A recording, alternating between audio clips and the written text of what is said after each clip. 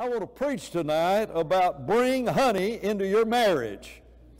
Somebody says, I don't know what that's all about. Well, I hope by the end of the lesson you'll know what we're talking about, but you're not likely to be understanding it for the next 10 minutes or so. So I put a little subtitle under that, and this is not a verse in the Bible, but it is Little Things Mean a Lot. You remember that uh, two weeks ago on a Sunday morning, we ask you to put to fill out some uh, questionnaires about what has my mate done that has really enhanced our marriage. And uh, what little things have they done? Not massively giant things. I don't think any of you said, my husband surprised me and gave me a new Mercedes. I, that's, not the, that's not what we're talking about. And so they'll be a part of the lesson tonight. And so the last half of this lesson is yours, is not mine. And we'll talk about, uh, about that later. But, uh, but we just need uh, to understand that. We're not going to look at the text yet. We'll come back to the text in a little bit. But I want to just talk about when we talk about little things mean a lot, I want to talk about the power of little things in the Bible. Have you ever thought about the fact that, uh, uh, that there are those little things that are mentioned in the Bible that really have great power and great meaning? Think about what Jesus said about little children. That's not the, the impact of our lesson to spend a long time looking at that. But those disciples that were there were discussing who's going to be the greatest in the kingdom. And Jesus brought a little child and set that child in the midst of them and said, Except you be converted. I think that word converted is interesting. They were headed down the wrong path.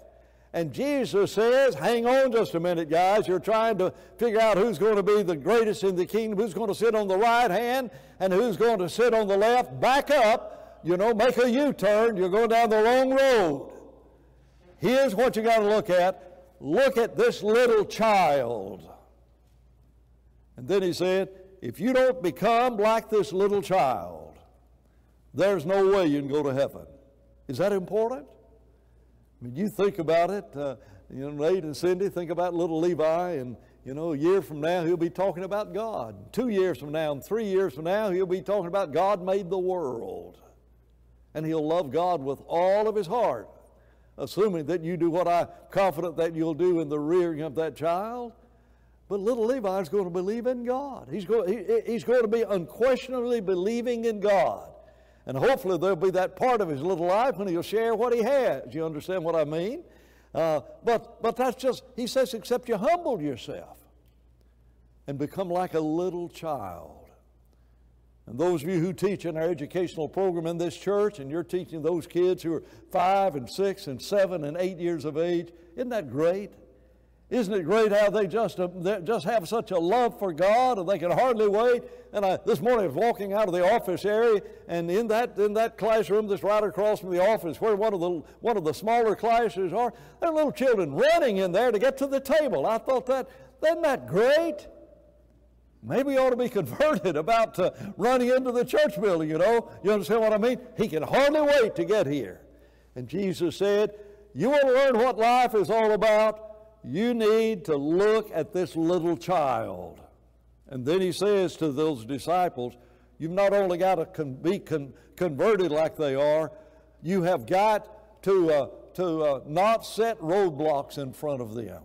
I think it's remarkable Jesus talk about these little children that have faith in God. And oh, how America needs to hear this. We teach our children to have faith in the God, and they get in the educational system, and God is oftentimes mocked in the class. You know what God says about that? But He's saying it to, to these disciples. He's saying it to those individuals who, who are people in the church, and He's saying it to us. That don't you ever put a stumbling block in front of one of these little children. That's in Matthew chapter 18. That's those first five verses that are there. Back in chapter 10, verse 4, he says, If you give a cup of cold water to a little child, God remembers that. Isn't that amazing? I remember in the old building on 36th Street, we had the Mr. Chewing Gum Man. And, uh, you know, uh, Brother Harvey Fort, I think it was the one who was, and uh, children came to see Harvey Fort, and every week they got the, they, they got chewing gum from him. And over the years, there's been those individuals who've brought who've brought uh, gifts to give to our children. Are you aware? That's the kind of thing Jesus is saying. We owe a tremendous obligation. Listen, to every little child that runs around in this building, we owe them something because Jesus said, You'd better look at them. And you've got to look at them and look at this world through their eyes, or you'll never go to heaven. Little children can teach us one of the most profound truths in the Bible. What about the little leaven that leavens the whole lump? We don't understand about leaven. We don't, we don't understand what yeast is all about. But uh, years ago, you knew what it was like. You know, before the days when you when you had uh, self-rising flour, you had something had to put something there to make to make the biscuits rise. Well, what are you going to put in there? Well, you put you you can you can put uh, some yeast in there of some form or another. Now, I remember my grandmother. Every time after she'd make biscuits, she'd just take one, just a, a, a wad of that dough, just about just about so big, and put it up on the shelf. What are you doing that for? Well, you'll see and the next day she's making biscuits and she throws that water, that old dough in there. And, and she mixes it all up. You know why? She wants the biscuits to rise the next day. The tiniest amount of leaven has unbelievable power. And so the kingdom of heaven is like leaven that a woman hid in the measure, three measures of, of meal, and, uh, and, and, and, it, and it spread. And then, in reference to righteousness and unrighteousness, a little leaven levels the whole lump.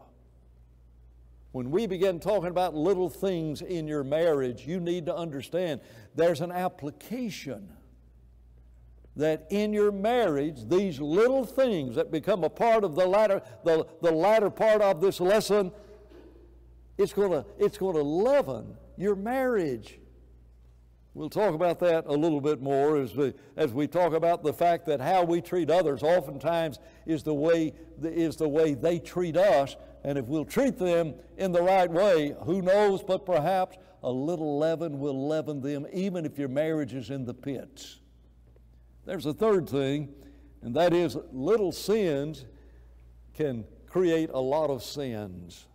I've got the illustration here, Joseph's brothers. You know that story from from uh, the verses from Isaiah 30 and verse 1. That's not where you read about Joseph's sin. It talks about Israel, and they add sin to sin. Jealousy over a coat of many colors.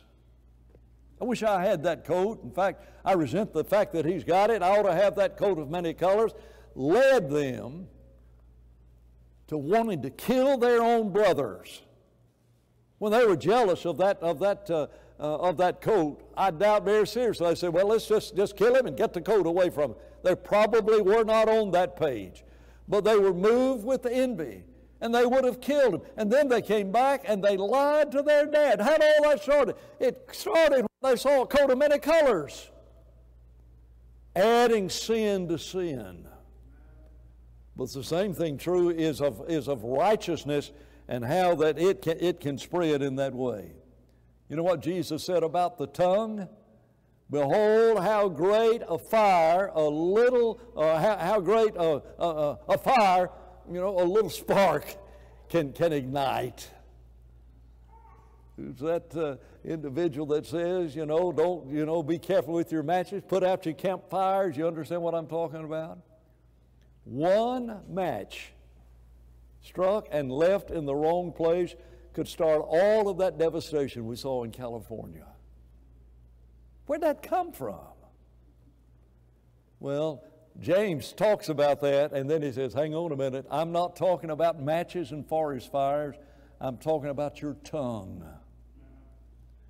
When we talk about some of these little things that you've suggested in your marriage, you need to understand that the Bible says that tongue that speaks in bitterness, that, song, that, that tongue that comes out of, a, out, out of a heart that can sing praises to God, and then out of that fountain of his heart comes forth cursing and bitterness and anger inside the marriage? He said it cannot happen. And he says, You know why? Because that evil that comes out of the tongue comes straight from hell. This is the only time anybody in the Bible other than Jesus uses this word hell, Gehenna, the Greek word. It's the only time anybody other than Jesus uses it. Jesus used it, you know, 10 or 15 times. One time in the rest of the New Testament does that word appear, and it's talking about the very things that we're, that we're talking about. That is, what, what, how do you speak to your mate? How do you speak to your children? How do you speak to your parents?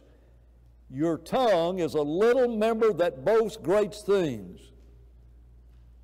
And then there's a, there's a forest fire that can come from one match. And you think back to times of fusses in your life, they probably started over things that didn't matter that much at all.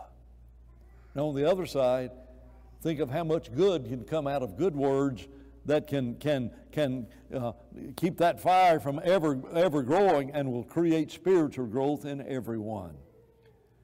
And now, Jacob understood the power of a little honey. Can we go back to slide two? Go back, go back to that text of Genesis 43 you read that as it was read. I hope you understand it's whenever Joseph is, a, is down to the land of Egypt, his brothers do not know that that's Joseph. And Joseph has told them, You cannot come back down here and buy any more grain unless you bring your little brother. And Jacob is all upset. Why did you even tell him I had, you had another brother? And we left out verses, you know, 7 through 10, just so we could get to the point of verse 11. Jacob was saying, You cannot go. And finally, he resolves himself the only way we're going to have any food is to take that money that was put in the money bag the first time, add to it the money for the grains we're going to take this time, carry all of that money. We're going to do what's right down there.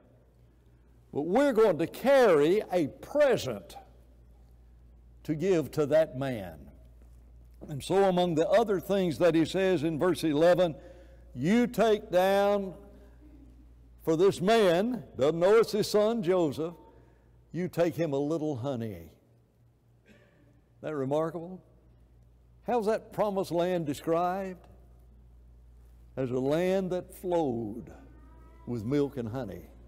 You never read honey being associated with Egypt. Can you imagine if you're the Pharaoh down there, or if you're Joseph's down there, and, and he's, his, Jacob assumes he's an Egyptian, and you go into there and you really want to give him an impression, we brought you something from home. And I find it rather interesting that he mentions that, uh, you find the best fruits of the land. There wouldn't be that many if there's a famine. You take the best uh, uh, fruits of the land and you carry some balm, some spices, and some myrrh, and you take some nuts and some almonds. But I want to look, focus in on that little honey because I want you to understand that there's some little honey that you need in your marriage. Little honey, that spice, that, that sweetness that's not found in a lot of marriages. Now, if you ask the question, why should I do this? My marriage is in the pits and so much. Just, just give me, give me, give me some reason on earth why I'll not just throw up my hands and quit. Well, I want to tell you one of the reasons is your marriage is from heaven. Used to be in all ceremonies. It's not in many ceremonies now. But dearly beloved, we are gathered here in the presence of God and in the presence of these witnesses. Why is that? Why is that even in a marriage ceremony? Because those who perform marriage ceremonies and those who wrote the vows in, in, in, in, in you know, years and years ago understood. What's happening here is not some just social arrangement. Some caveman saw a cave woman and said, you know, let's hang out together. That's not the way it was. You know, it's just, you know, that's not the, that's not the way it goes. God brought Eve to Adam. And God ordained marriage. Now, it wasn't just that marriage. I'm telling you, He handpicked Adam's wife. He gives us the freedom to make our own mistakes in whom we marry. But let me tell you, whenever, whenever you say, I do, uh, young people, listen to this. When you say, I do, you've done it. You've got one shot at this, you know, unless there's sin or death involved in that, in that relationship. You know why that is? Because when they came to Jesus and said, Can I get rid of my wife for every reason? I don't, you know, she burns the biscuits. I don't like her. She too, she's too much like her mother, you know, and all, all those reasons that are given. I found somebody else I'd rather hang out with. You know what Jesus said? What God has joined together by the power invested in me by the state of Florida as a minister of the gospel of Christ, I now pronounce you husband and wife. And then, what God has joined together. You know what happened? That marriage, and even in front of a justice of the peace, was registered in heaven. You've got to understand that's how important it is. There are things that are done on this earth that, that, uh, that do not rise to this level at all. But this, this thing rises to this level. And so I ask you tonight to honor the fact that God ordained marriage. And it wouldn't be marriage if there were not God. You take God out of marriage in America, and people cannot even define what a marriage is. You need to honor the fact that whenever I said I do and she says I do, that something happened that was till death do us part. And then this statement what God has joined together, let no mortal put asunder. The translation of that word is man, but it's not, that's not, that's not, uh, uh, we're not talking about gender there. It's the word anthropos. Let no mortal on this earth put asunder that which God has joined together. You hear that? Is it lawful for me to put away my wife for every cause? In the Muslim religion, it's my understanding that you can divorce your wife if you look at her three times and says, you know, I divorce you, I divorce you, I divorce, and you stop right before the you and you've made your point but if you say it the third time, at least in some Muslim countries, it's over. Oh, no, it's not over. We're no longer in love. Let's just get a divorce. No, you're not divorced. No mortal, no judge, no legislature can put asunder that which God joins together. And don't you ever in counseling get outside the framework of the Bible in counseling somebody in reference to marriage and say, well, if I were you, I'll tell you, I'd just leave him. You don't have that right. You don't have a right to get outside the framework of the Bible and say to another, you can ignore what God has joined together. Let no mortal put asunder that which God has joined together. And therefore it's worth it. Well, now, but Dan, we're having all kinds of problems. That's what this lesson is all about. I want us to look and, and, and recognize a principle that Jesus in Matthew chapter 5, when he says, Love your enemies, we talked about this Sunday morning a week ago, that enemy there may be your mate. Bless them that curse you. That may be your mate. That may be the enemy they have, may be the worst enemy you've got in your life. Pray for them that despitefully use you how am I supposed to treat him? How am I supposed to, how am I supposed to, uh, you agape them? That's the Greek word. And agape has to do with actions. And this list of things that you've given for us to look at and to share with each other is actions. What little thing can my mate do? To show his love for me? What has my mate done in the past that's been so meaningful to me? You know what that is? It's action. It's agape love. And Jesus said in Matthew chapter 5, verse 46, if you agape them that agape you, what do ye more than others? Do not even the, the publicans do this? You know what that says? That even those who are unbelievers, as a rule, treat other people nice who are nice to them.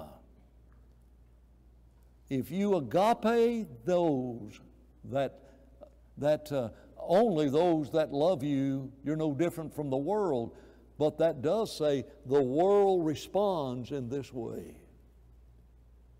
And oftentimes in marriage counseling, this is the very road path that I've gone down to try to help save marriages. And by the help of God, some marriages have been, have been saved by getting that wife who really despises her husband and is ready to give up on him. Or to get that husband who really despises his wife and is ready to give up, to give up on them to say, Tell me two or three things your mate could do. And let him pick one of the three to show you that he loves you. You know why I don't say let him pick all three? Because then you'd be the boss. That's the whole problem is you're already crossways with your mate. She's not going to tell me what to do. He's not going to tell me what to do. Okay, here's, here's something we could do. What are three little things? Let him pick one of them. And by that I mean the least painful. So that he can show you that he loves you. How can husbands and wives at Palm Beach Lakes show their love to each other? And you've got the answer, not me. We asked you, you know, two weeks ago, write down some of the things. Maybe it was last Sunday. Write down some things that your mate has done. Now, if I were in a marriage counseling situation and we were sitting at the table and I'm on one side and you're on the other, I would say, reach over there and grab your mate's hand. Just hold hands underneath the table. And every time I read one of these things, not these things that are here, but from another list that I've had in the past, every time I read one of these things that you wish your husband would do, because he doesn't understand what you want. My husband doesn't understand me. Here's your opportunity. Every time that I read one of these things you wish that your husband would do, squeeze his hand. And I say to the wife or, or, or the husband, every time I read one of these things you wish that your wife would do, squeeze her hand. Wouldn't that be a good idea? Now, if you're sitting next to your husband or next to your wife, you may want to just reach over, and nobody's allowed to peep. Uh, you know, Scotty, your kids are not allowed to reach over to see when, you, when your hand's getting squeezed. And don't you be like one young man was in that marriage situation. I had a list of about a hundred things, and he had his hands under the table, and I was just, I wasn't making any comment. I'm just doing what I'm about to do right here, right now. And when I got to the 100th one, he pulled his hand out and went like that. so uh, if, she, if she squeezes your hand right now, I don't know that I would leave any recognition of it. And uh, you may not choose to do this, but I'm telling you, it might help your marriage. This lesson will be on the internet. And if your husband's not here or your wife's not here, or if you're getting involved in marriage counseling, and you're trying to help people save their marriage, go to the website and say, here's what those godly folks at Palm Beach Lake said. Here's the question. There are 71 of these. I don't think I'll read all 71 of them. Here's the question. Name one thing, even a small thing, your spouse does or did that really showed his or her love and strengthened your marriage. Are you ready? Taking care of me every time I was in need. being there in all ways I needed. He told me he loved me. How long's it been, guys? Studying God's Word together helps keep the Word of God in the house. He does everything with me. Every day, He tells me He loves me. He has never left the toilet seat up. He grabs and holds my hands when we pray. He always calls when he knows he's going to be late, and I do the same for him. We always say, I love you many times during the day. We pray together. Does the dishes daily without complaining. He holds my hand when praying. He shows total trust and allows me to be me and doesn't try to change me. He accepts my fault and my strengths. Cooks, cleans the house, supports everything I do, allows me to be my own person. He got baptized. He prays for me and encourages me when I'm not well cooks dinner, trusts me in many ways, especially with money, laughter, and joy. Prayed together morning and evening. She bakes my favorite cake. Always shows respect for me and puts me first. He leaves me notes to find in the morning. When was the last time you gave a card unexpectedly to your wife?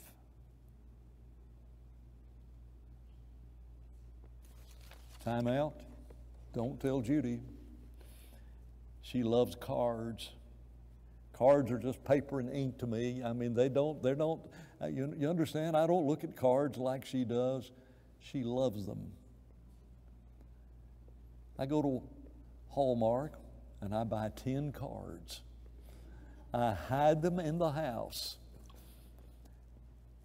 And Judy, every now and then, unexpectedly gets a card from me. Don't tell your wife that you've got them hidden in the house but we're not done. I mean, we're, we don't know sometimes how to do it. And I mean those cards when I give them to Judy. And they mean so much to her.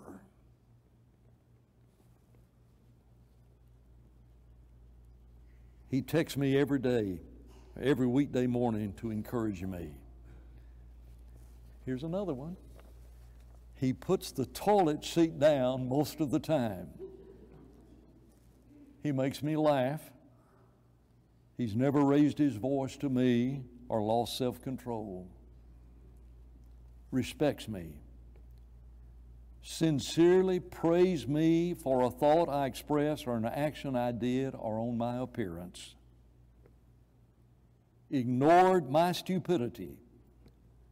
Let me find it out on my own time or even just forgot it forever supported me, even though it may not be a mutual thought or effort, but was important to me. He always, or well, I say he, this is, the, the gender is not on this, takes my side. You want to stop your in law problems? Then take your, your mate's side and stand up to your meddling mama or your meddling daddy. Leave your father and your mother and cleave to your wife. He takes my side, always listens, always patient and kind. insisted that I elevate my foot when my ankle was swollen for over three weeks, kissed me, and professed his love for me every morning before departing for work. Listens. When I say I would like to have something, spouse goes out of their way and gets it. Helping and encouraging me continuously. Forgiving me when I make a mistake. Make sure, gets to work every morning, and sends me love texts lets me know he wants to spend time with me and wants me to work less. Tells me to slow down. Always makes sure he kisses me goodnight and tells me he loves me. Tells me often that I'm beautiful, pretty, and very attractive to him. Opens the door for me always showing affection, holding hands, kissing, or cheek hugs. Cuts my hair for me. Make sure the house is kept well. We can be silly together. Affection holds my hand during prayer. Spending quality time with me and the efforts to travel with me carving a beautiful wood structure that reflect, reflects our relationship. Sends me a loving text out of the blue. Writes encouraging notes and love letters in my lunchbox. Cooks dinner for us. Listens to my concerns and attempts to make things less stressful and worrisome encourages, disposes of large bugs for me. You're on your own with spiders. Always willing to serve. Been beside my side throughout all situations, good and bad. Open communication, respect and love. Makes me coffee and brings it to me.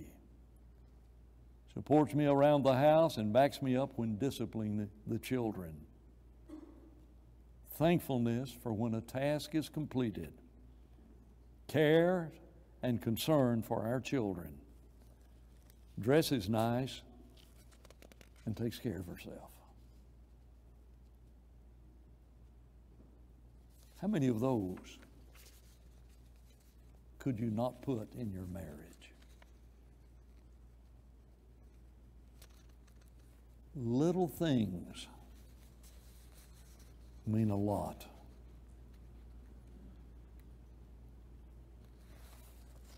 We've got another list here.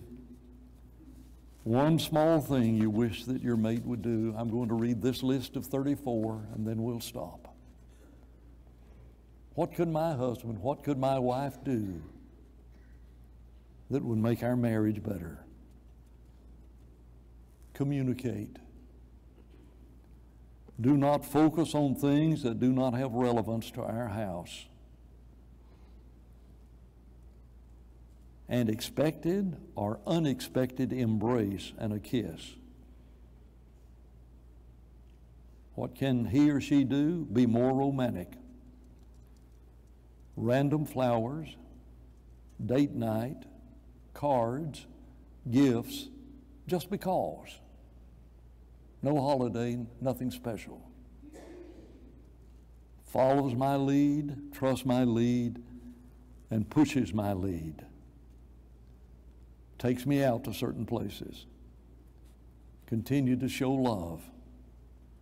Retire. Mop the house.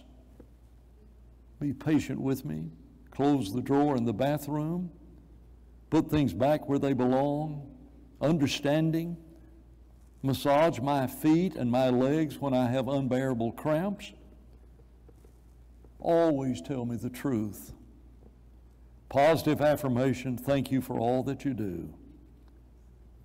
Stands up to their mother when it is about their spouse. Allow me to take over and be in charge of certain situations. Listens and is honest in all areas. Keeps God first in our home. Handles small issues without making it a bigger issue. Watch TV and play games without reprimand. Less complaining. Speak with respect exercise more often together, watch a sunset or a sunrise together, not go to bed upset over an issue, less complaining, try to set a more positive tone after a long day. Be home before me. Don't stop dating me. Listen have and maintain a financial budget, and random affections.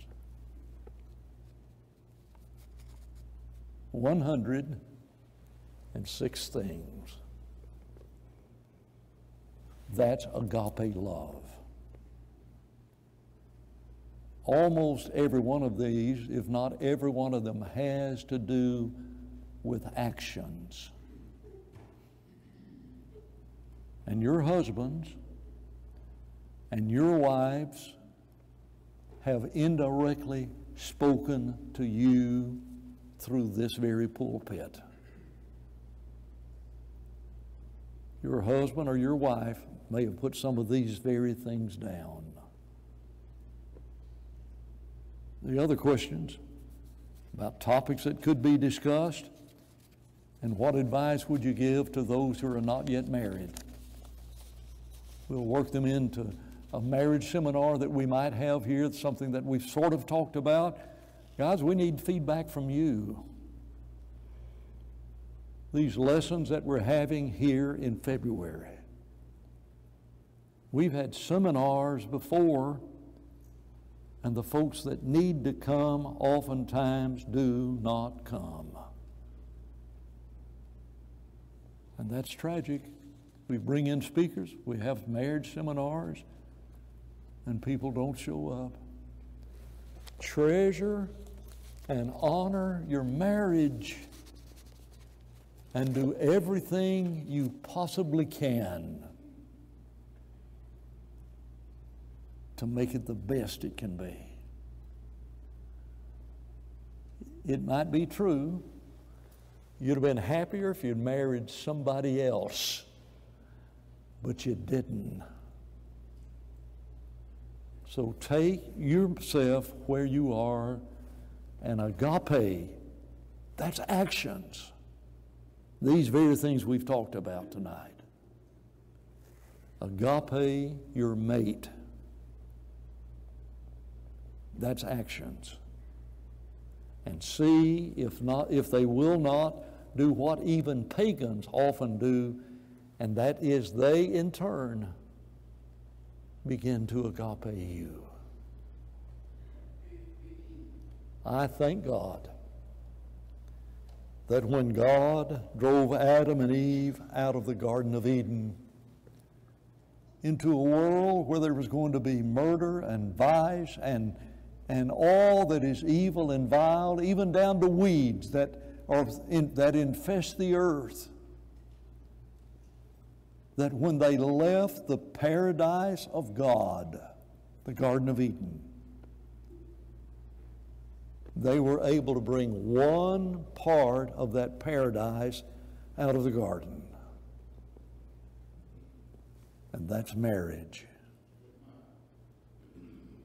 I beg of you, invest whatever energy it takes in your marriage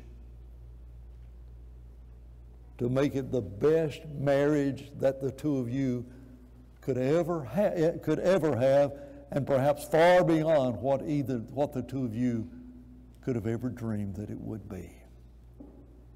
God help us. There's a relationship that we have with Christ, and that is that relationship when we become His child. You know, we said in that invitation two weeks ago, what about you be married to Jesus? the very form of marriage is you that is that we understand is what the Lord uses to talk about our relationship to Jesus. You're not a Christian? I love the way David extended the invitation this morning. You're not a faithful Christian? Your marriage is not going to be any good. You could become a Christian tonight if you'll believe in Him. If you will repent of your sins, how difficult is it to believe in Jesus? That's a little thing. And when we understand the consequences of sin and all the adversity and trouble that it brings in our life, we can turn away from it. It's not worth dealing with all of the mess that sin brings into your life. That's a little thing. And when you confess that you believe in Jesus, then you can be baptized and He'll wash away your sins. And you will become, when you do these things, He adds you to His family, to the church, to His bride. You're married to Jesus. And then He says, You be faithful like he encourages us to be faithful to our mates, so he says to us, the bride of Jesus, you be faithful to me, and I'll give you the crown of life. If you need to respond to this invitation, if you're not a faithful Christian, and there's something that you need to do in order that you might be one, won't you let it be known by coming to the front right now as together we stand and sing. Will you come?